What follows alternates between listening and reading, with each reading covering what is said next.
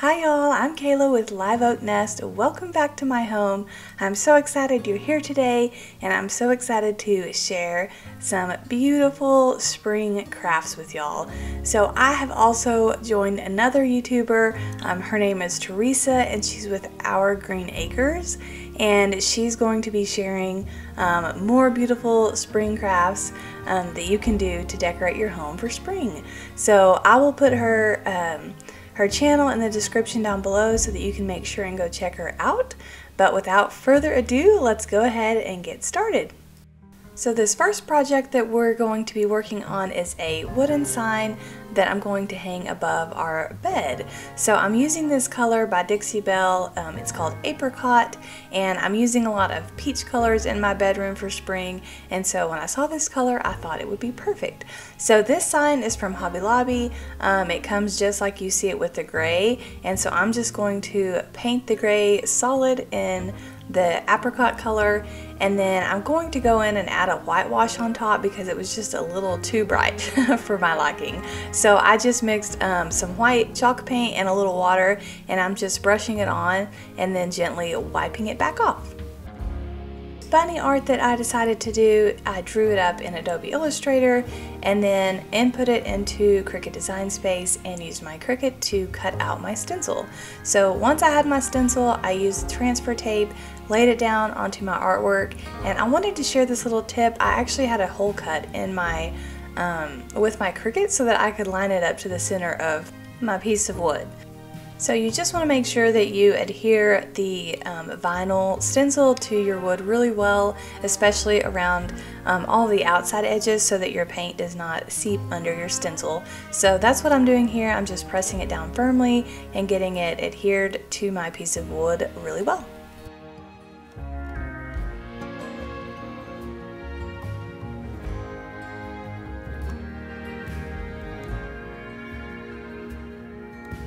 So now that that's done, I'm ready to paint my sign. I'm using uh, Palace White by Jolie Paint. It is a chalk-based paint um, and I really love this brand. So I'm going to offload my brush in the middle of the rabbit and then kind of push the paint outward instead of um, unloading around the outline of the rabbit. It just kind of helps make sure that you're not going to get a glob of paint to slip up under your stencil. So I'm just going to fill this in really well um, and I'm going to give it two good coats and then I'll be able to peel the stencil up. So no matter how many times I've done this, I still enjoy peeling back that vinyl and seeing that nice crisp line. So I usually take it a little bit slow and I just wiggle my way back and forth, kind of pulling from one side and then I'll pull the other side um, just to help make sure the stencil comes up and doesn't take any paint with it. So you can go back with tools and kind of get weed into those um, little places that still have vinyl painted on and that's what you'll see me do.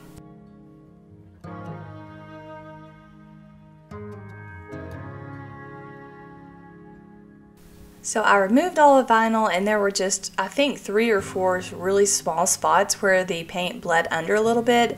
And so I'm just going to go back with my original um, apricot color and touch those little places up and you won't even be able to notice. So of course to finish off my bunny I decided to add a beautiful bow.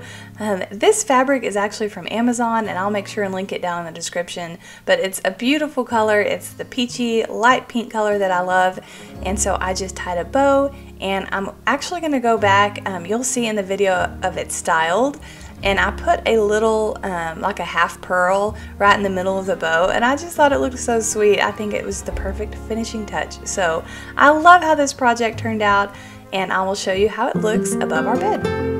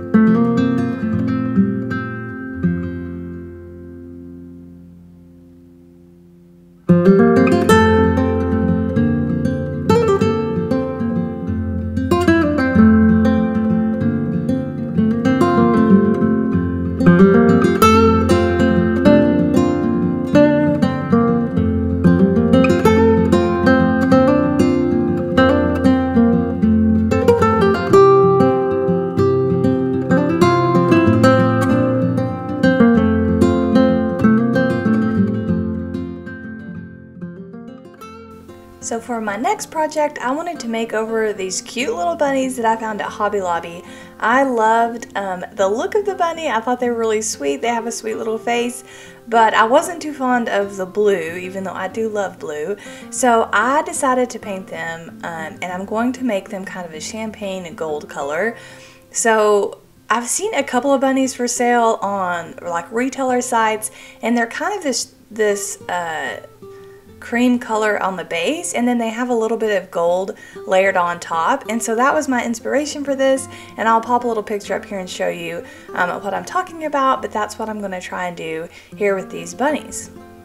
So my first step is painting it um, in its entirety in this chalk paint. This is Waverly chalk paint. You can pick it up at Walmart and it is in the color Mineral and it's a beautiful kind of putty um, cream color. I really like the color. So I'm just going to give this bunny a couple of coats of this and then move on to the next step.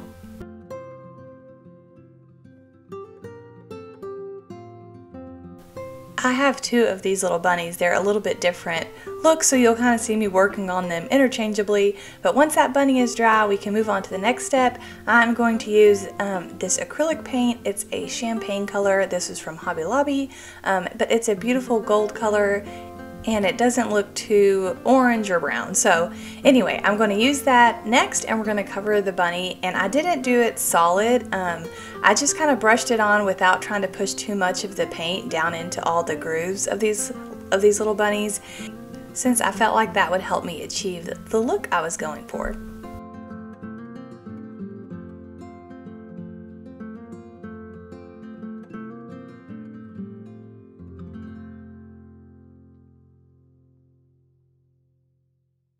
So once I had the bunny completely painted in gold, I went back with this um, bronze color. It's a chocolate metallic.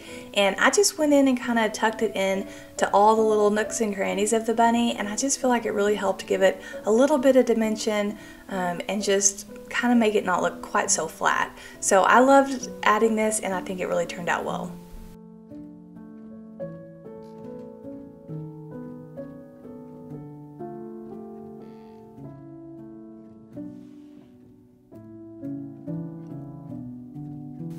Going to slow the video down here and just kind of give you a close-up of how the finished bunny looks with that uh, chocolate metallic tucked into all those little crevices.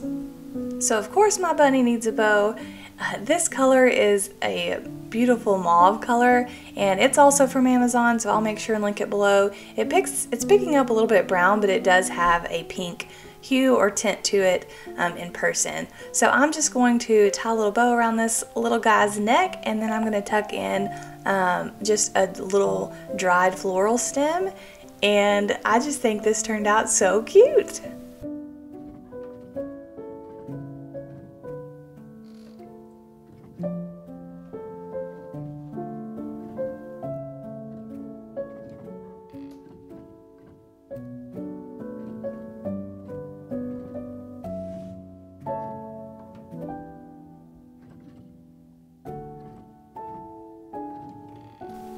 So for this next project that I'm working on, we are going to make over some terracotta pots.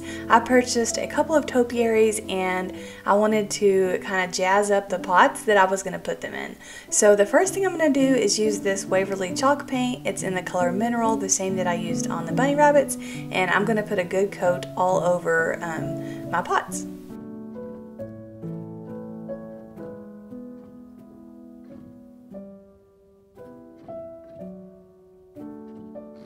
So once I have that coat on and it's fully dry, I'm going to mix these two colors. It's Mineral and Plaster, both Waverly Chalk Paint, and I'm just going to lighten up um, that mineral color just a bit and then just add on um, a second color to my pots just to kind of give a little bit of dimension and to not make them look, um, to not have them look just so flat. And when I'm doing this, I'm basically doing it in a dry brush kind of motion. I offload my paint onto a paper towel and then I just kind of brush it um, really lightly onto the pot and when it dries it's a very close color um, to the base color which is what I wanted. So once that's good and dry, I'm going to go on to adding on my stencil. So this stencil is from a Maker's Studio and it's a reusable mesh stencil. It's from the um, Le Petit Boutique stencil and you can cut these apart you can reuse them over and over again I absolutely love their products and I'm going to be using the chalk art in the color I reckon um, to paint on my stencil. So you just peel it off of the backing and then it sticks and adheres down to your surface. So I'm just going to stick it onto my pot, smooth it out really well, and then um, press in this chalk art. And chalk art is basically like chalk paint, but um, if you wanted to wipe it off, you could. You could use water and wipe it back off, but you can also seal it. So that's what I'm going to do on these flower pots.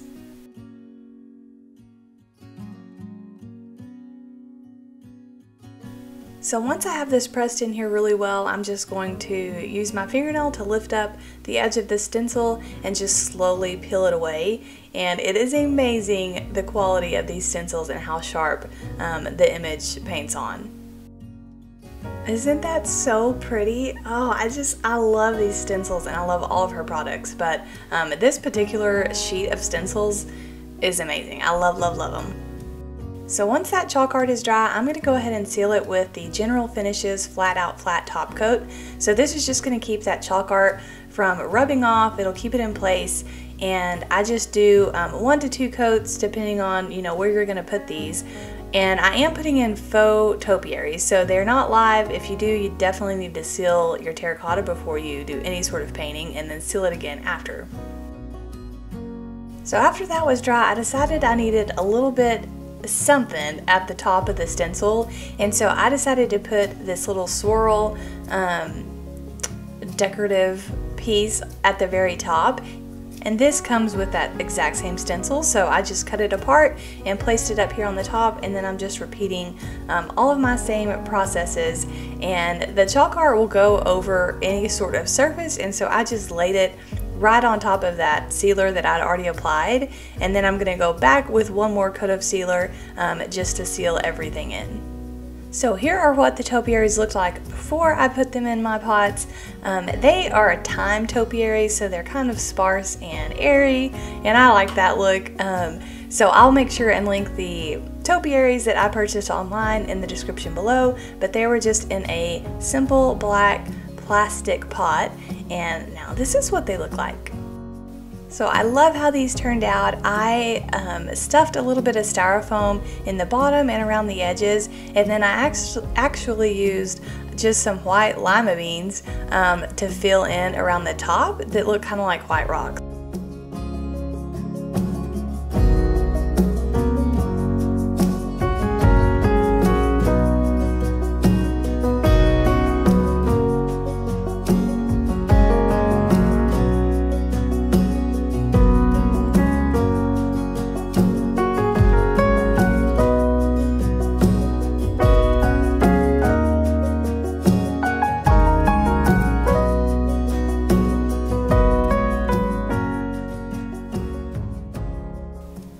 Before we move on, I just want to make sure to remind you to go check out my friend Teresa at Our Green Acres. She is so sweet and she puts out so many different projects and inspiration um, projects and crafts. You're going to love following her account. So make sure you go visit her YouTube channel and um, see what spring crafts and DIYs she's been making the last few weeks.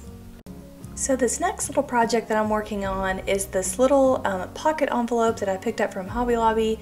I loved the color of it, but I wasn't too fond of the font of Blessed, and so I decided to just sand that down um, to make it smooth, and then I'm going to put a fresh coat of paint on it, and then um, kind of make it look more like my style. So I'm using Jolie um, paint for this project. It's in the color Eucalyptus. It's a beautiful sage green color, which is, most of you know, is my favorite color. Um, so I'm just going to put a layer of this on and get it dried really well and then um, add a stencil.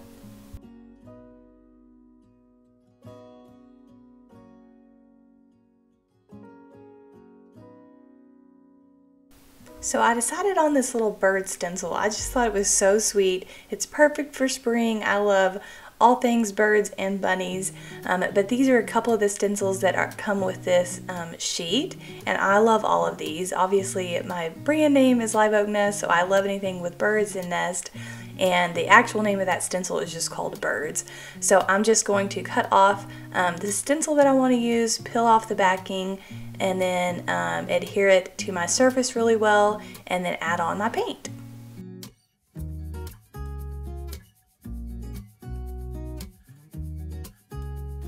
So I'm using the color I Reckon in the chalk art from a Maker's Studio, so it's the same color that I was using um, earlier.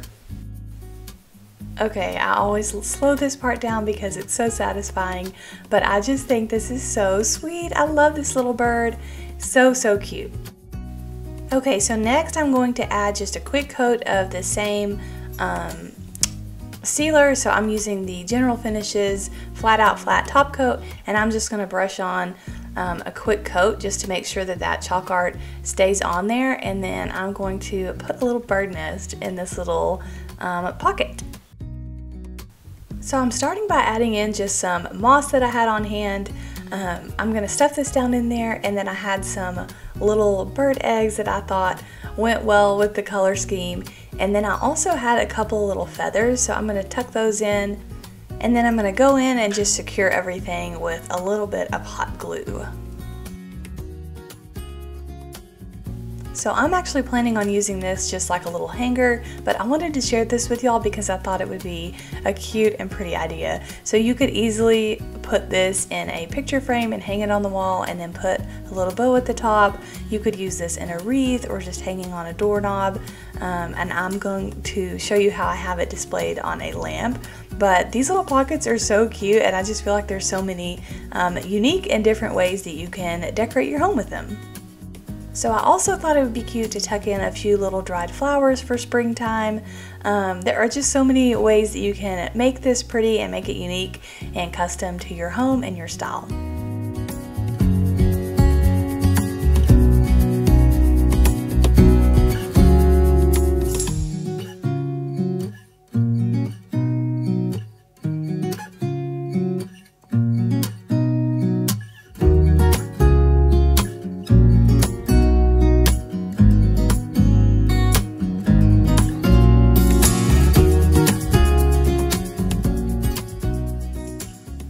Okay, so the next project we're working on is going to be this little wooden plaque. I'm of course going to put a little bunny on here, but first I want to get this thing painted, so I'm just going to use my Waverly chalk paint in the color Mineral, and I decided to lighten it a little bit, so I added a little bit of the plaster and just mix those together.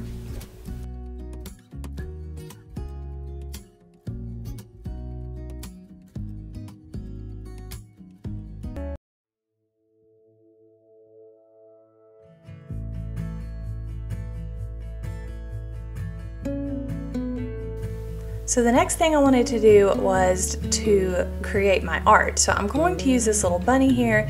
This is a stamp from IOD, which is Iron Orchid Designs. And it's the first time I'm using this stamp and it recommends that you just scuff up the art side with fine sandpaper. So I'm using 120 grit fine sandpaper and I'm just going to lightly scuff up my bunny here. Um, and I think that just helps make sure that the ink adheres really well when you go to use the stamp. So I'm going to use um, this copper colored gel ink. This is um, paint or ink from a Maker's Studio and it is um, it's awesome. You can use it on fabric, you can use it on wood, um, you can use it on so many different surfaces. So since I didn't have an ink pad, I'm just putting the ink down on um, this plastic tray here and then I'm using a um, circular sponge brush to just pat it onto my stamp and it worked out perfectly. So if you don't have a stamp um, or an ink pad, you can definitely do this and it works just as well. So once I have my stamp inked up, I'm going to actually press it onto this um, fabric. So I got this cotton fabric at Hobby Lobby. It's a light pink color. And then I just simply tore it um, the size that I wanted so that I can put it onto my piece of wood. And so now I'm just gonna gently press down um, all over my stamp and make sure that it has good contact onto the fabric. And then I'm just going to gently lift it up.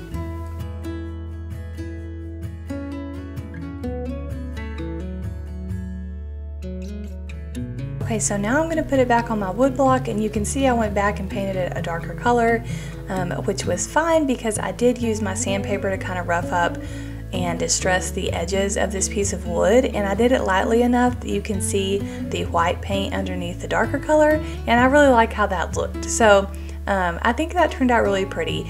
I'm going to use these little um, furniture tacks to secure my cloth to my piece of wood. These also came from Hobby Lobby in the upholstery section, but they're very simple to use. I literally just hammered them right in and um, it held my fabric with no trouble at all. So here is the final look at this little piece. So if you noticed, it went from gold to gray.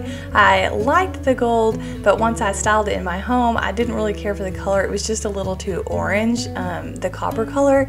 And I've used it on other things and loved it. So anyway, I decided to go back and restamp my bunny and I used um, the gray uh, gel ink from a Maker's Studio and I just like this look a lot better. So I love this little bunny. I think it turned out super sweet and I love the pink um, cloth on the background Okay, so moving on to the next thing, I am going to make um, some floral art with this piece. So this frame is from a weathered wood home, I believe, and she creates um, custom frames from reclaimed wood. So I'm going to use this as my frame, and then I'm going to um, create the art that goes inside of it. So the first thing I'm going to do is pop out the backing that is in here and I'm going to use it as a template to cut off a piece of cardboard and once I get the cardboard cut, I'm actually going to put a quick coat of white paint on the cardboard because the fabric that I'm going to um, wrap around it is very sheer. So I just needed to have a lighter background to work with instead of the brown cardboard. So once my paint is good and dry, I'm going to go ahead and use my fabric and wrap it around my piece of cardboard and then secure it with hot glue. So this is actually muslin fabric. I picked it up at Joann's Fabric a while back. I use it in a lot of projects. Um, it's very easy to tear and so I just cut a little piece and then um, rip it down with my hand and then I'm going to go around, um, fold it all the way around the rectangle and um, glue it down with hot glue.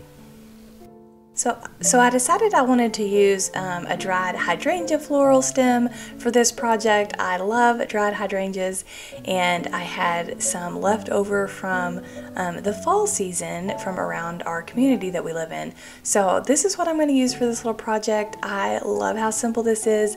I also think it's really pretty because it has dimension and depth to it.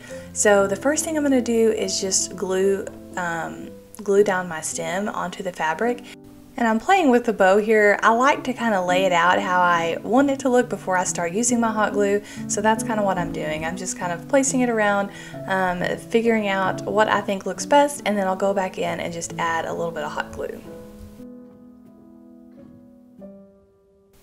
I didn't want my ribbon just to hang straight down and so I decided to go in and just tack a few um, places up. So I'm just using the tiniest little dab of hot glue and pressing it down to that fabric and you can't see it through the ribbon. Um, and I can also gently pull it off if I decide I don't want it like that anymore. So this is probably one of the simplest crafts or pieces of art that I've done, but I absolutely love it. I just think it's so pretty and I decided to hang it under our vent hood because I don't have a wreath on top of the vent hood for spring. I decided to put one over on my big um, French doors. So anyways, I just love how this looked here. I hung it with the Command Velcro strips and it works out perfectly. So I can just take it down if we're going to be cooking something crazy like spaghetti sauce and then I can just um, press it right back up there without it damaging the tile or the frame. So those are a great option for hanging things on tile, um, places like this in the kitchen where you don't want to hang a nail and a screw.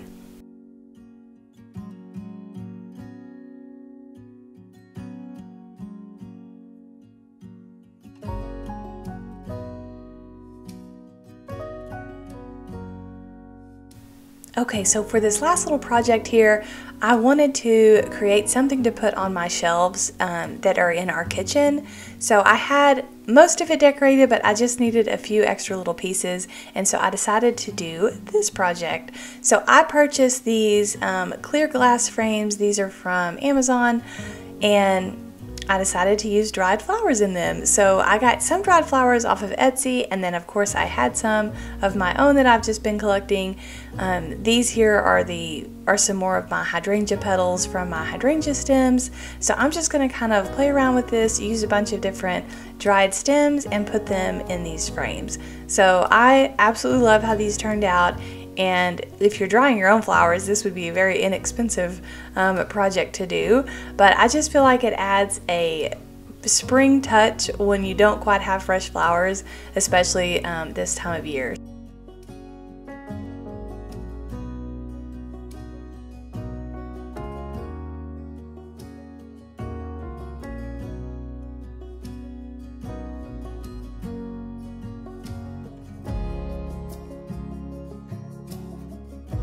So here's a quick look at how these came together. I really love these. They're just so, so pretty. Um, I have more detailed photos on my blog, and if you have any questions, please just leave your comments down below. But thank you so much for being here today and for joining me. If you're new to my channel, I'd love to invite you to subscribe and follow along. I'd love to have you I share French cottage farmhouse inspiration for budget friendly decor, simple DIYs, and beautiful vignettes. Y'all take care, and I'll see you again soon.